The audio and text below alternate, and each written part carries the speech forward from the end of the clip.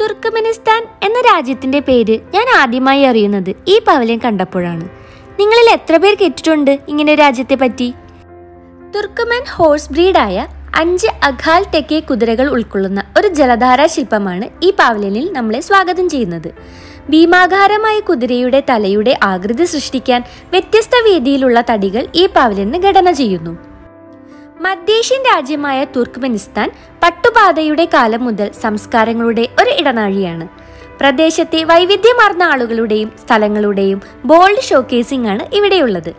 സാങ്കേതികമായി മെച്ചപ്പെടുത്തിയ പ്രദർശനങ്ങളുടെ ഒരു സമ്പത്ത് ഈ രാജ്യത്തിന്റെ ഏറ്റവും മികച്ച സംസ്കാരം പ്രകൃതി ദൃശ്യങ്ങൾ കയറ്റുമതി സാധനങ്ങൾ തുടങ്ങി ഒട്ടനവധി കാര്യങ്ങൾ പറഞ്ഞു വെക്കുന്നു. കാസ്പിയൻ കടലിനോട് ചേർന്നുള്ള ഈ രാജ്യം പ്രധാനമായും കാരക മരുഭൂമിയാൽ മൂടപ്പെട്ടിരിക്കുന്നു. പുരാതന വ്യാപാര പാതയായ സിൽക്ക് റോഡിലെ പ്രധാന സ്റ്റോപ്പുകളായ നിസ മെർവ് എന്നിവയുൾപ്പെടെയുള്ള പുരാവസ്തു അവശിഷ്ടങ്ങൾ ഈ രാജ്യത്തിന്റെ ചരിത്രമാണ്. ആറ് മില്യൺ ജനങ്ങൾ അടങ്ങിയ തുർക്ക്മെനിസ്ഥാൻ എന്ന രാജ്യം ലോകത്തിലെ ഏറ്റവും വലിയ അഞ്ചാമത്തെ പ്രകൃതിവാതക ശേഖരമുള്ള രാജ്യം കൂടിയാണ്.